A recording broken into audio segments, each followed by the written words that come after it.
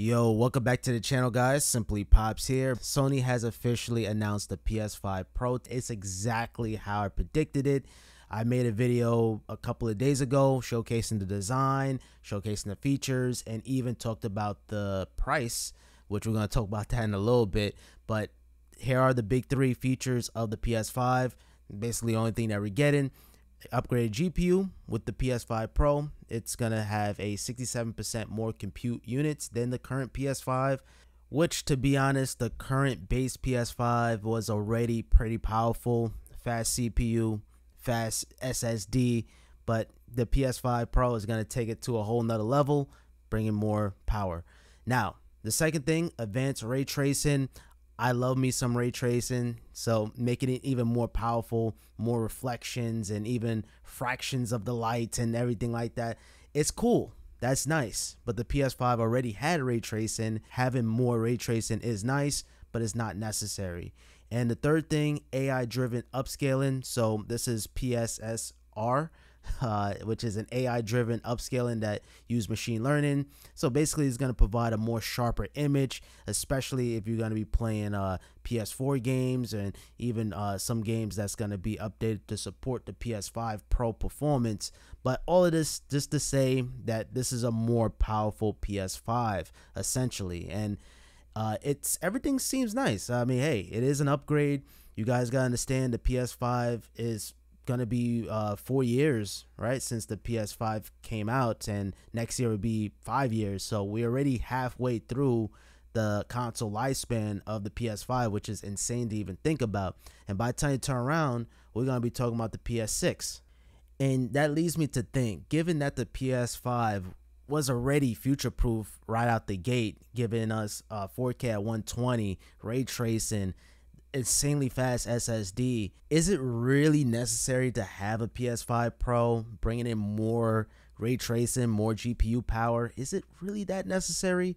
I don't think so. And I think for most people, if you have a PS5 already, you should be perfectly fine. I would say this is mostly for the people who just love to upgrade. Like those of you guys that love to upgrade your phone every single year, this isn't going to be a problem for you. I mean, this is like light work. I mean, hey, it's been four or five years since the PS5. Hey, the PS5 Pro is gonna be faster, so you're not even gonna flinch. And I'm one of those guys. I'm gonna be honest. I'm I'm just one of those guys. But I'm speaking for the average consumer, especially when the PS5 first came out during the pandemic. It was insanely hard to get, and I just remember it like it was like two years ago. But damn, that was that was five years ago almost. That it was hard to get a PS5, and people are getting a PS5 now. And the fact how you seeing this announcement now, it's like wow, it's crazy. But later on that we're gonna talk about that price tag because the price will make a big difference, which you guys already know. I'm gonna give my opinion on that, but yeah, man, I don't think it's gonna be for everybody. It's mostly gonna be for the tech enthusiasts, people who wants the the latest and greatest, the most power, the most advanced technology, that's me. That's definitely me. The most powerful PlayStation that PlayStation has ever made. This is it. By the time you turn around, the PS6 is going to be around the corner. So maybe give it another three, four years until the PS6 releases. And wow, and that time will be here before you know it.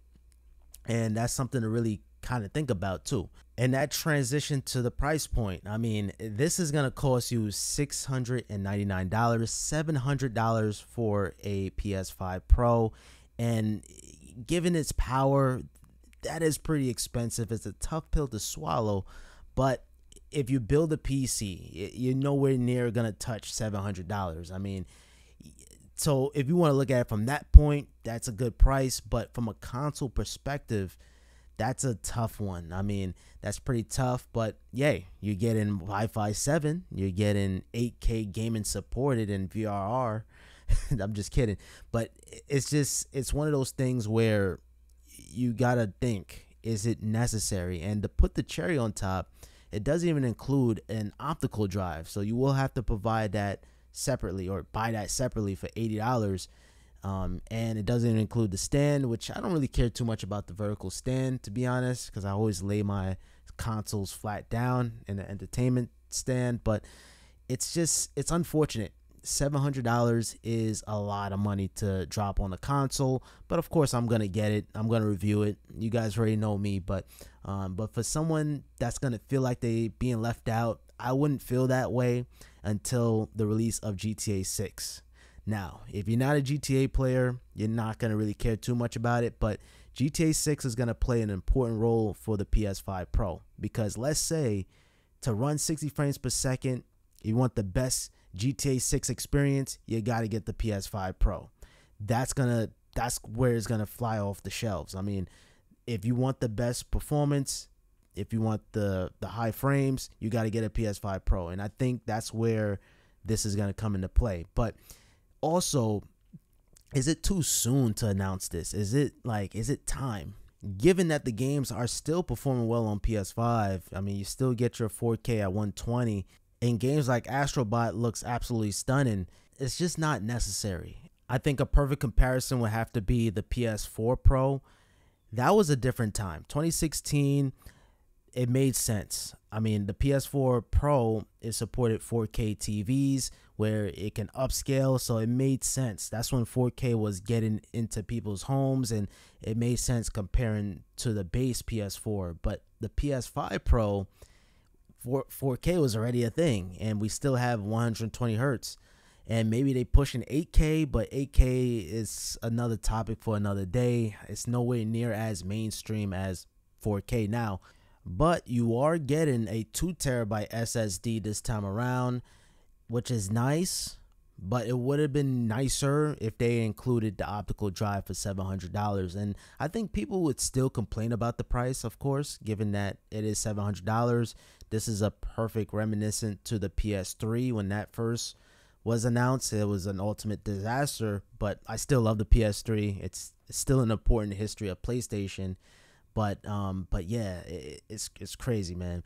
PS5 Pro is available as a diskless console with the option to purchase the currently available disk drive separately. That is insane. I mean, that that's crazy.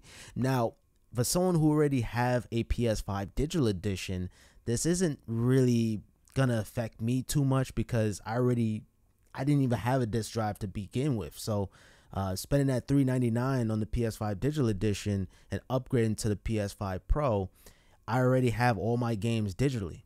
Um, I can't even tell you when was the last PS5 game that I purchased physically. I can't even tell you when was the last time. I mean, I think it was probably like Demon's Souls just to test it out for a video that I made like a couple of years ago. For me, I really don't care about the optical disc drive at all. Uh, it's just the price. I was really hoping that Sony would price it at $600 uh, I think that would have been a more compelling price tag, just $100 more compared to the PS5 Slim, which costs 499, $500, and that includes the optical drive, but a whopping $200 more plus an $80 optical drive is is ludicrous to say the least for a gaming console. And I understand inflation and it's a different economy now compared to when the PS5 first came out and even when the PS4 Pro came out, things are going to be more expensive and that's just the world we live in. Inflation is a scary thing. And I'm not sure how much the PS5 Pro costs for Sony to assemble, but it's one of those things where I remember with the PS5, they they take a loss for everybody who buys a PS5 cuz it was like 399 and 499 but with this being $700 that's a big leap but if they price this competitively and have a lot of people buy it, then you kind of make the money back within services, accessories, and things like that. Versus if you charge high now and nobody buys it, either way, they're still gonna make money with uh, accessories and PS Plus and subscriptions and things like that. But this is uh, it's just a it's a terrible PR uh, having that price so high. And like I said, I understand the uproar on it, but Needless to say, pre orders will begin on September 26th and it will launch on November 7th of this year, of course. And I will get my hands on it. Potentially, I might even get my hands on it early. It's a chance. I have a really good partnership with PlayStation and Sony. I am still excited just to test out how the games are going to look. Um, and I know Sony did this, they showed a side by side comparison, uh, comparing performance mode and fidelity and how better the the graphics look, but I want to test it out for myself, and I can't wait to do that. Just the testing purposes, I'm excited for. And who knows, maybe the PS5 Pro will live up to his name, and it'll be like no more deciding between fidelity and performance. This might be the end of that, and I'm all for that. I'm all for that. Give me advanced ray tracing with 120 frames per second at 4K. I mean, I'm all for that. And that is where I'm going to conclude today's video. Let me know down in the comments down below. Are you planning on picking up a PS5 Pro? You Do you think it's overpriced? Or do you think it's reasonably priced? I mean, let me know. I'm very curious to know. Drop a like on this video, subscribe with notifications on for coverage on the PS5 Pro, especially when it first comes out. And until next time, guys, I hope you all have a simple day.